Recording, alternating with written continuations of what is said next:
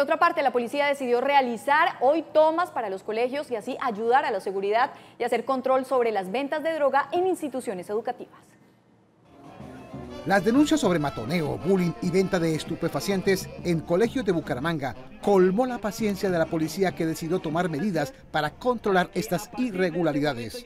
Son centros educativos que se priorizan por diferentes situaciones de convivencia entre los estudiantes, especialmente consumo de estupefacientes, riñas, matoneo, bullying.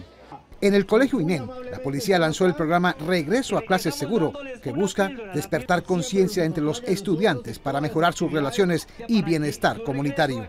Traemos toda la oferta institucional, especialmente lo que tiene que ver con policía de infancia y adolescencia, policía ambiental, policía de turismo, con el fin de tener ese acercamiento con el estudiante. Las directivas de los colegios aplaudieron estos controles que les permiten mejorar su seguridad al interior de los planteles educativos.